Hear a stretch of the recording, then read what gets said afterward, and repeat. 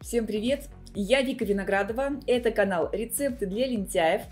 Это кошка Ириска, которая тоже почему-то рвется в кадр. Сегодня покажем, как приготовить очень простые, очень ленивые перекусы. Да, Ириска?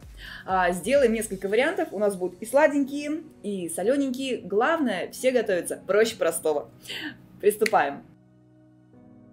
Начать я предлагаю с бутербродов. Даже не с бутербродов, а с сэндвичей. Сэндвичи все любят, они готовятся за считанные минуты. Я вам покажу, очень классные пару вариантиков. Я думаю, вы такие еще не пробовали. Для быстрых сэндвичей понадобится готовое мясо. Я взяла в магазине уже запеченную куриную грудку. Можно взять карбонат, ветчину, мясной орех, вареная колбаса тоже подойдет. Или, например, если осталось мясо с ужина, тоже годится. Нарезали и берем следующий ингредиент сыр. Нарезаем его тонкими пластинками. Либо можно сразу купить сыр в пластинках, чтобы было еще быстрее. Я буду делать горячий сэндвич в мини-пекарне. Она у меня от бренда Red. Можно подогреть в микроволновке, можно сделать на гриле или, например, запечь в духовке. Выкладываем хлеб для тостов, поливаем его кетчупом или любым другим томатным соусом.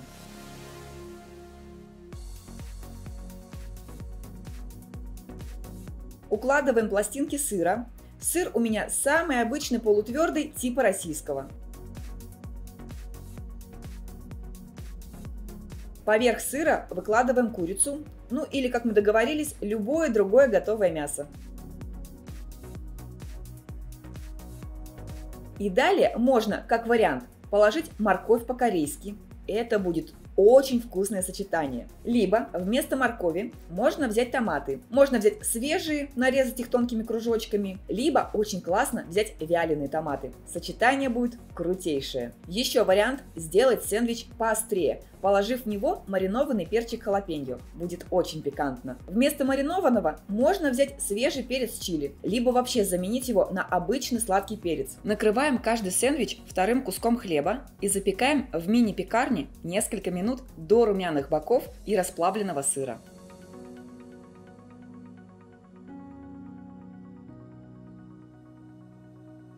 Получаются, ну, очень вкусные горячие бутерброды.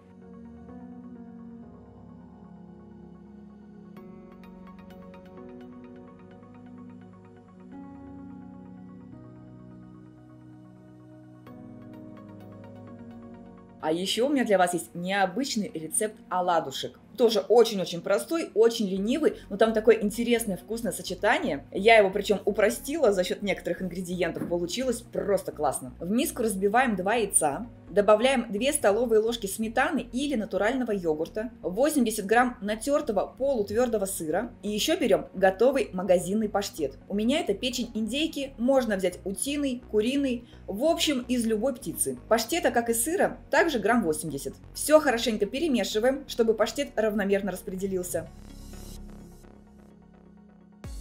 Подсаливаем и добавляем 2 столовые ложки муки. Больше уже не нужно. У нас должна получиться консистенция, как на оладушке, чтобы тесто плавно стекало с вилки.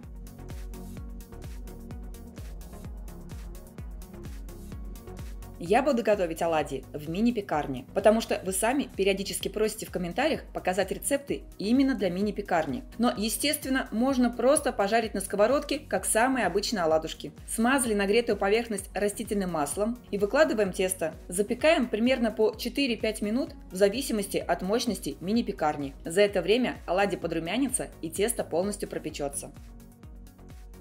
Вот такие красавчики получаются. Очень вкусное сочетание печени и сыра. С утра с кофеечком или днем в качестве перекуса это будет идеально.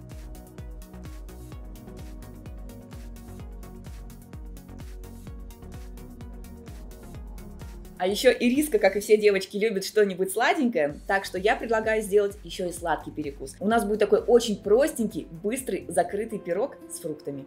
Да, Ириска? Нам понадобится половина яблока. Можно взять сладкий сорт, как у меня, можно кислый. Натираем на крупной терке прямо вместе с кожурой. Еще берем половину банана и также натираем на терке.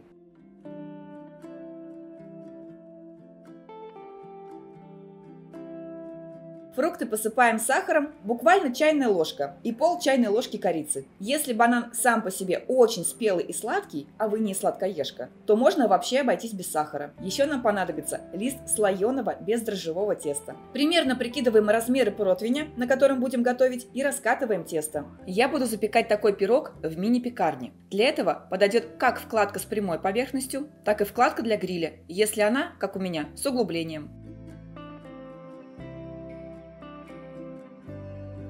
Смазываем нагретую поверхность растительным маслом, выкладываем половину теста и укладываем начинку, стараясь оставлять по периметру небольшой отступ, чтобы начинка потом не вываливалась из пирога. Вместо мини-пекарни можно точно так же приготовить этот пирог в обычной духовке. По времени запекания будет примерно так же, как с мини-пекарней. Накрываем начинку второй половины теста и запекаем минут 12-15, в зависимости от мощности мини-пекарни. Если делаете в духовке, возможно потребуется минут 15-20, чтобы тесто полностью пропеклось. Получается хрустящий пирог с такой сладкой фруктовой начинкой и ароматом корицы. Потрясающий рецепт, когда хочется чего-нибудь сладенького к чаю.